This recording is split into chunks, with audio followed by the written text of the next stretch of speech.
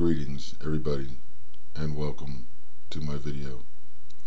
Tonight I wanted to uh, go over the situation with the wall wart and what I believe is happening.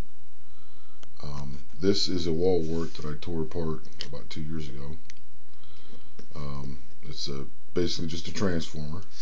Um, 120 volt to 12 volt transformer and actually this one here has a five position switch and it's got various taps here.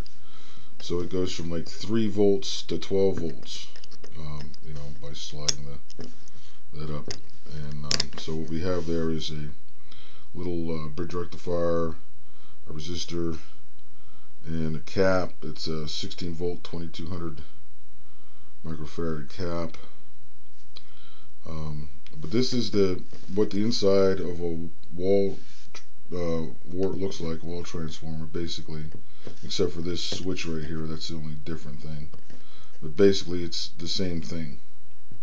Now, if we look at this, we see that there is no electrical connection between this coil and this coil. It is only induction through the core.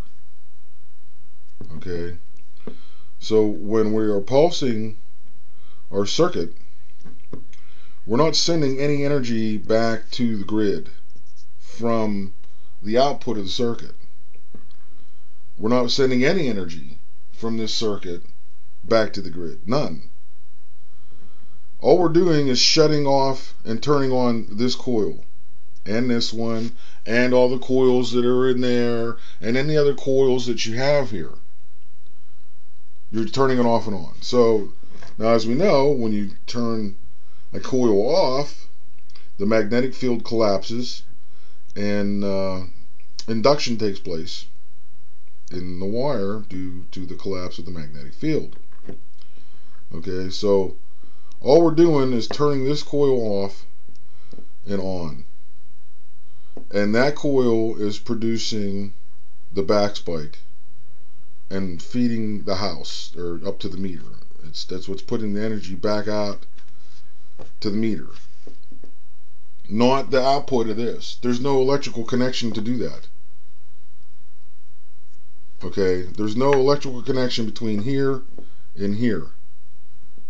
It is only because we are turning the circuit on and off, whichever circuit you use. You can use a Bedini circuit, you could use reed switches, you could use Hall sensors, you could use brushes, um, whatever. You could use uh, a solid state uh, setup.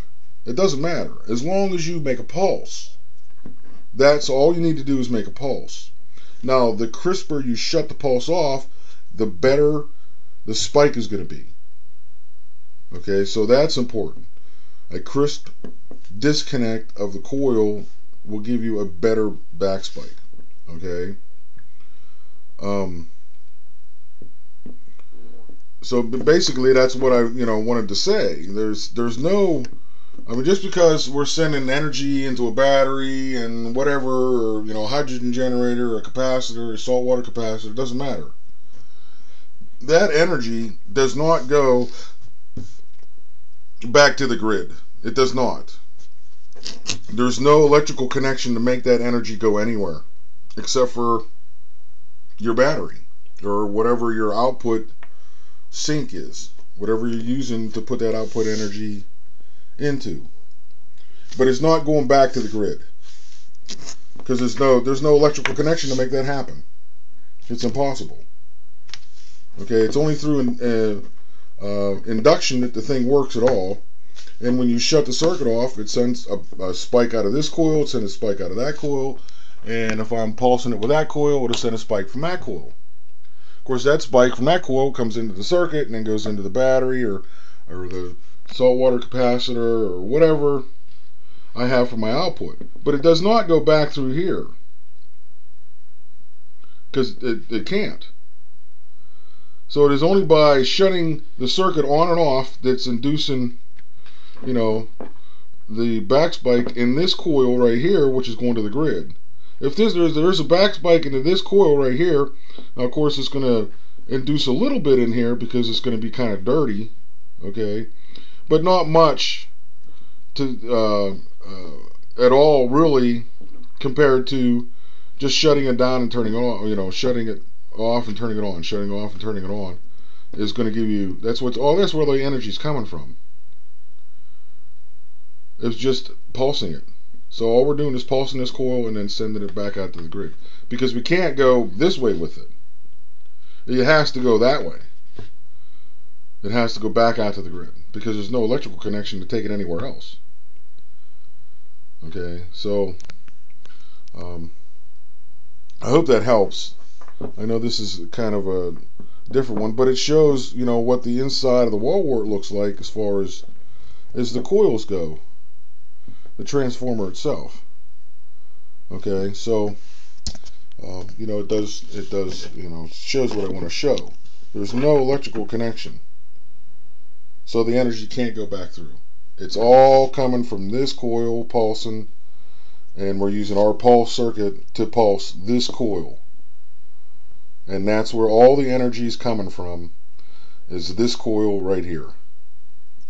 As far as the anomaly with the uh, electrical meters go.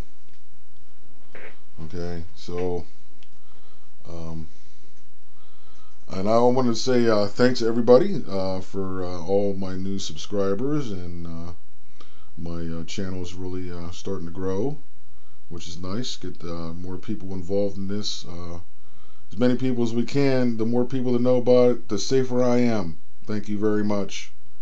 Um, and uh, all the kind words uh, you know wonderful comments everybody's just uh, thrilled about it and I'm, I'm glad to help out any way I can um, it was one of the reasons why I wanted to post this so that everybody understands what's what's actually happening here.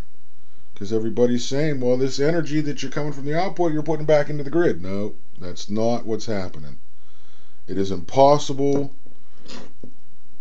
to put that energy into the grid except for what is sent back through the system. There might be a small induction uh, from this back spike, say from this coil here, but it was end here. And it is only through induction that any of that energy would ever see this side. There's no direct electrical connection whatsoever. Okay? So, um, I guess that's that. Again, thank you everybody for all the kind words. Angus uh, out there, he's he's uh, doing a good job uh, getting the getting the word out. Um, so hopefully uh, you know, like I said, uh, um, everybody's starting to post videos. Wonderful. Uh, can't wait to see their progress as they go.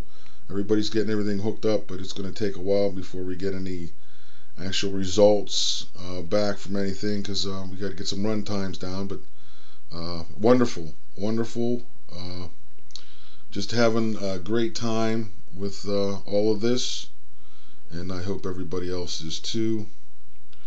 And well, I guess uh, that's the end of my video. Have a wonderful day. Peace.